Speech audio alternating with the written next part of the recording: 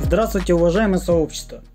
Как уже поняли из заставки, сегодня речь у нас пойдет о Extruder, реализованном на червячном редукторе. Червячная передача является одной из самых мощных. Ее зачастую используют в редукторах, в моторедукторах, там где требуются высокие усилия и огромное передаточное отношение. Поэтому у меня возникла идея реализовать экструдер для 3D принтера именно с помощью такого механизма. И на AliExpress был куплен соответствующий комплект, передаточным отношением 1 к 20, о котором я говорил в предыдущем видео. Еще раз хочу напомнить, что такая идея не новая, и в интернете существуют подобные решения. Правда, реализованы не, не на металлических комплектующих, а на пластиковых. Даже если использовать, например, тот же нейлон, очень высокопрочный, все равно здесь присутствует огромная сила трения в червячном валу использование пластиковых комплектующих с таким вот мелким зубцом, ну, честно говоря, не совсем правильное решение. Поэтому свой выбор я остановил на латуневом готовом варианте. А вот и сам корпус, который разработал именно под эту конструкцию. Внутрь я поставил зубчатое колесо. Оно также имеет фиксатор на валу. При этом диаметр внутреннего отверстия там составляет 4 мм. Поэтому пришлось пожертвовать одним из сверел, у которого тоже диаметр 4 мм, чтобы сделать вот подобный шток. Также были прикуплены два подшипника под внутренний диаметр тоже 4 мм и запрессованы с обоих сторон. В итоге мы получили вот такую вот очень интересную конструкцию. Если посмотреть с обратной стороны, то подающим элементом у нас является как раз именно это зубчатое колесо за счет своих острых зубцов. То есть, грубо говоря, механизм подачи здесь очень сильно напоминает МК-8. Учитывая последние доработки, которые я показывал в предыдущем видео, то данный МК-8 тоже очень хорошо справляется практически со всеми видами пластика. И в этой же конструкции я также сделал правильной геометрии канал, благодаря чему подача филамента здесь беспрепятственная. Как видите, все зазоры просчитаны очень хорошо, что даже без поджимного ролика у нас проталкивается филамент. А вот поджимным механизмом у нас является вот такой вот рычаг, соответствующим подшипниковым роликом от того же МК фидера. Вот так мы его закрываем и вкручиваем поджимной винт. Вовнутрь я поставил квадратную гаечку. Таким образом у нас никаких проблем с поджиманием нет. И вот так вот работает данный механизм. Сюда мы вставляем наш червячный вал, у которого диаметр внутренний 5 мм. У мотора, который я использую, тоже диаметр 5 мм. Сразу хочу отметить, что покупал его в Stepper Online. Это очень слабенький моторчик – но в то же время один из самых легких. Вес его всего лишь 50 грамм. За счет высокой редукторной передачи 1 к 20 он естественно должен тянуть без проблем такой экструдер. С этой же стороны и с этой мы фиксируем винтами М3.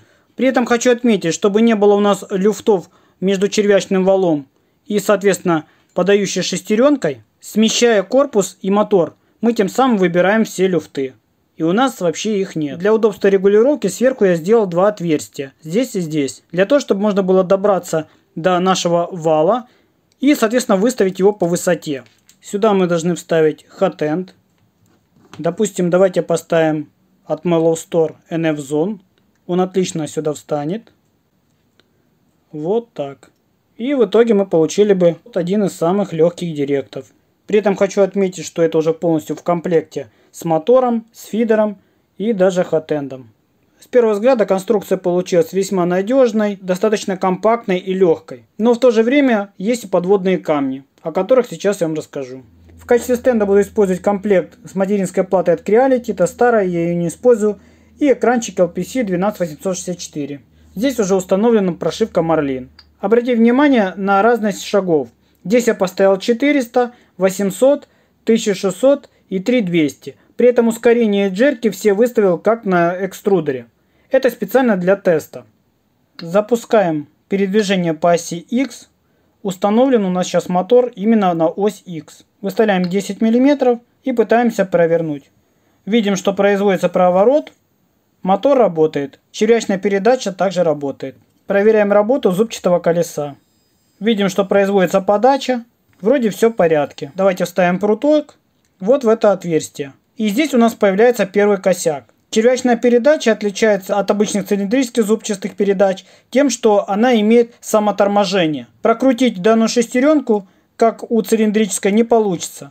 То есть можно вот только таким образом как-то попытаться вставить. Для того, чтобы прокрутить вручную червячную передачу, Нужно, соответственно, чтобы вот этот вот шток, на котором находится червяк, был удлинен с этой стороны и была какая-нибудь крутилка. Вот только таким способом можно сделать ручной проворот, потому что идет эффект самоторможения. Вкручиваем наш поджимной рычаг, снова запускаем перемещение. Поехали.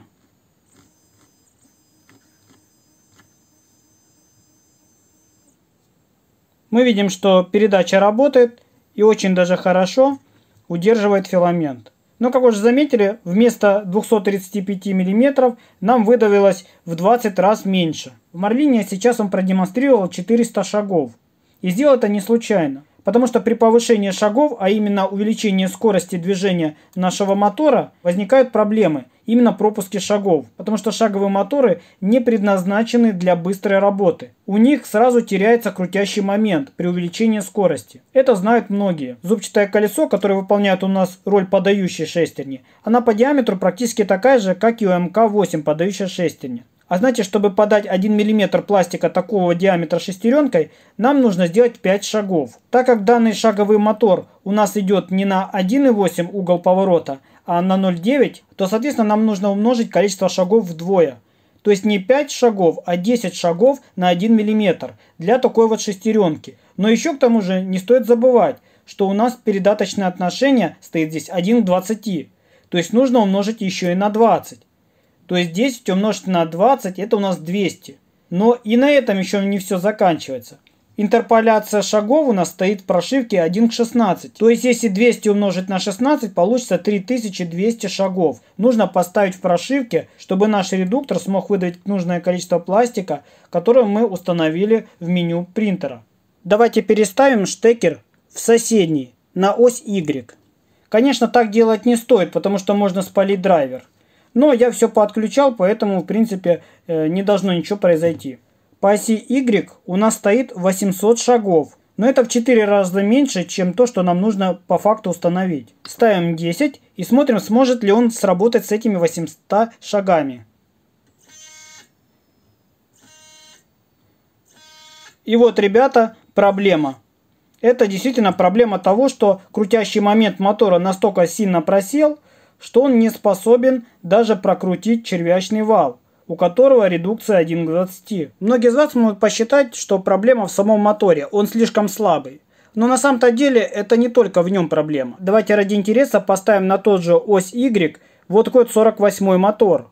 И посмотрим, сможет ли он вытащить такие вот обороты. Запускаем снова Move Axis и перемещение по оси Y на те же 10 миллиметров. Вот, ребята, что и требовалось доказать. Как видите, друзья, наш 1,5 амперный, очень мощный 48 мотор не способен работать с такими огромными скоростями. То есть это проблема не мощности самого мотора, а именно скорости передвижения. Вывод по нашему экструдеру можно сделать следующий. Конструкция полностью работоспособная, и проблем с ней нет. Червячная передача показывает себя весьма хорошо, но учитывая невозможность работы моторов на высоких скоростях, в нашем редукторе нужно внести определенные изменения. Первым делом уменьшить передаточное отношение между червячным валом и зубчатой шестеренкой.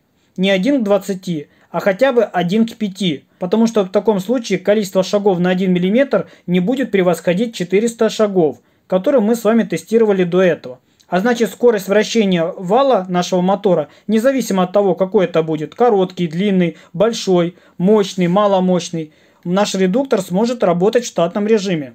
И тогда такой директ экструдер сможет нормально эффективно работать. Но есть некоторые нюансы, с которыми я столкнулся. Дело в том, что на AliExpress такой редукторной передачи 1 к 5 с такими параметрами вала и диаметра вала я не нашел но я буду стараться найти кого-нибудь из токарей, кто сможет это реализовать, чтобы в итоге протестировать и посмотреть, на что будет способен такой мини-экструдер. Результатом проделанной работы и тестов я остался доволен. Несмотря на негативный результат, я все равно получил результат. Это бесценный опыт.